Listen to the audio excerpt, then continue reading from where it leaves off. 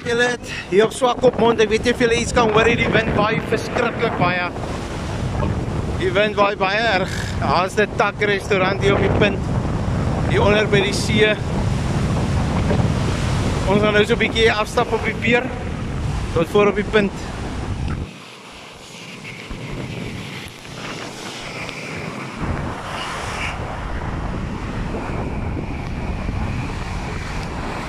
Hey julle.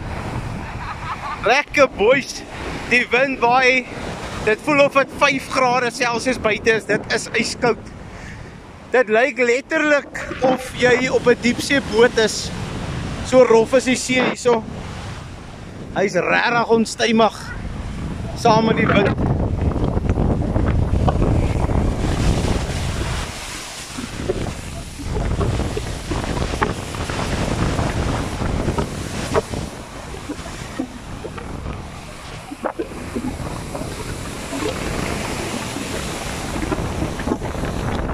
Ek is baie jammer oor die wind. Ek weet dit raas geweldig.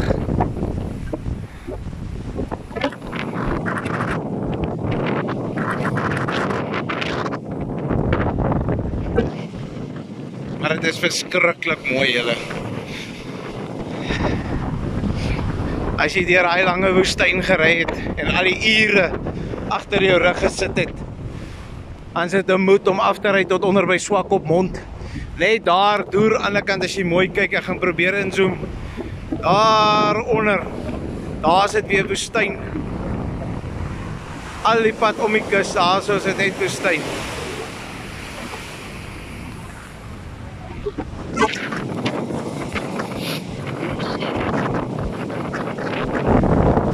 Hallo, hallo.